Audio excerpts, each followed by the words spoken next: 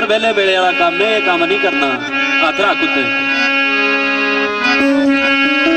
ਸ਼ਾਇਰਾ ਦੇਵਾ ਵਿੱਚ ਪਿੰਜਰੇ ਤੋਤੀ ਕਹਿ ਦਿਓ ਉਹ ਮੁੱਦਤਾ ਪੜਦੀ ਰਹੀ ਨਸ਼ਾਦ ਕਲਮਾ।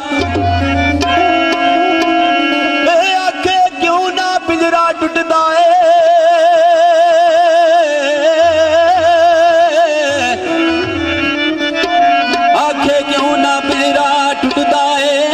ਕਰ ਕਰ ਪਈਆਂ ਮੈਂ ਯਾਦ ਕਲਮਾ।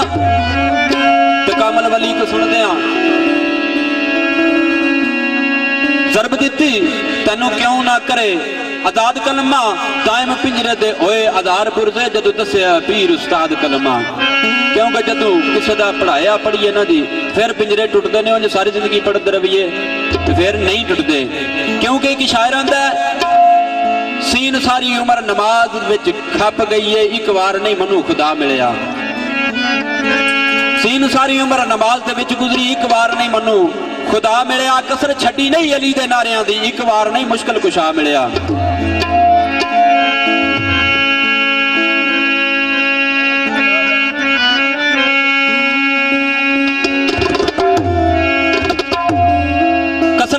ਅਲੀ ਦੇ ਨਾਰਿਆਂ ਦੀ ਇੱਕ ਵਾਰ ਨਹੀਂ ਮੁਸ਼ਕਲ ਕੁਸ਼ਾ ਮਿਲਿਆ, ਪਰ ਜਿਹੜੀ ਗੱਲ ਤੀ ਮਿਲੇ ਨਹੀਂ ਅਲੀ ਅੱਲਾ।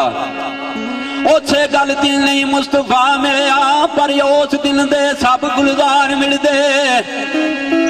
ਉਸ ਦਿਨ ਦੇ ਸਭ ਗੁਲਜ਼ਾਰ ਮਿਲਦੇ, ਉਹ ਜਿਸ ਦਿਨ ਦਾ ਹੈ ਮਨੂੰ ਪੇਸ਼ਵਾ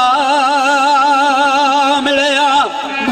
ਇੱਕ دیਵਾਨਾ ਸਰਕਾਰ ਦੇ ਦਰ ਤੇ ਖਲੋ ਕੇ ਕਰਜ਼ ਕਰਦਾ ਹੈ, ਆਵਾ ਜਵਾਨਾ ਤਬਲੇ ਵਾਲਾ ਕੀ ਆਂਦਾ ਪੀਰ ਦੱਸਿਆ ਜੀ, ਕਲਮਾ ਪੀਰ ਦੱਸਿਆ ਜੀ। ਇਹ ਕਲਮਾ ਪੀਰ ਦੱਸਿਆ ਜੀ, ਕਲਮਾ ਪੀਰ ਦੱਸਿਆ ਜੀ। ਓ ਮੈਂ ਤੇ ਸਮ ਸਮ ਨਾਲ, ਮੈਂ ਸਦਕੇ ਸਮ ਸਮ